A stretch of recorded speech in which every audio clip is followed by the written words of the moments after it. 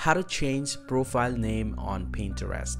How's it going everyone? Welcome back to the Skytech Studio and today's guide video I'll show you how you can change or update the profile name on Pinterest. So without wasting any more time, let's get started with the video guys.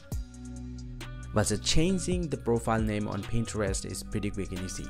Here I'm using my iPhone but you can do the same settings on Android or on your computer as well. Simply go ahead and open up the Pinterest app or go to the pinterest.com in the website and from the home page go ahead and tap on your profile icon at the bottom right and once you tap on that tap on your profile once again and from your profile and as you can see my profile name has been showing up right here. So now to change this one you just need to tap on the settings or the gear icon at the top right.